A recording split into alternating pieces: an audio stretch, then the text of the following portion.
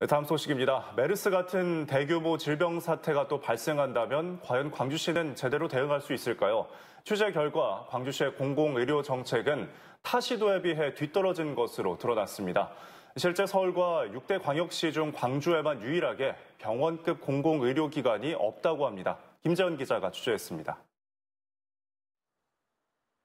새 지방정부 출범 이후 광주시는 조직 개편안 중 하나로 인구 복지국 신설 계획을 밝혔습니다. 인구 감소 문제를 대처하기 위해 기존 복지건강국을 인구 복지국으로 재편하겠다는 겁니다. 청소년 가족관을 인구복지국, 현재 그 건강복지국입니다. 이름을 인구복지국으로 어, 변경을 하고 해서 그쪽으로 이관을 하고 보건 의료 분야에 대한 지방 정부의 관심이 소홀해지는 것 아니냐는 우려가 제기되고 있습니다.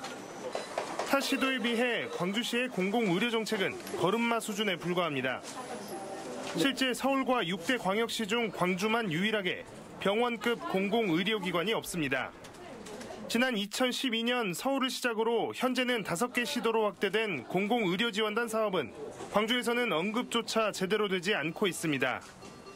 지역 의료계에서는 광주시가 지역 공공의료의 컨트롤 타워로서 역할을 확대해야 한다고 지적합니다. 그렇지 않으면 메르스와 같은 대규모 질병 사태나 경제력에 따른 의료질 격차 등의 문제를 제대로 해결할 수 없다는 이유에서입니다. 어, 뭐냐, 만약 메르스 환자가 다, 다수가 발생했을 때 그 사람들을 입원을 시킬 그런 병원들이 없었거든요.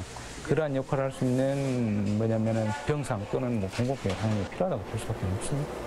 공공 의료 정책에 대한 새 지방 정부의 무관심과 무대책을 걱정하는 목소리가 높습니다. KBC 김재현입니다.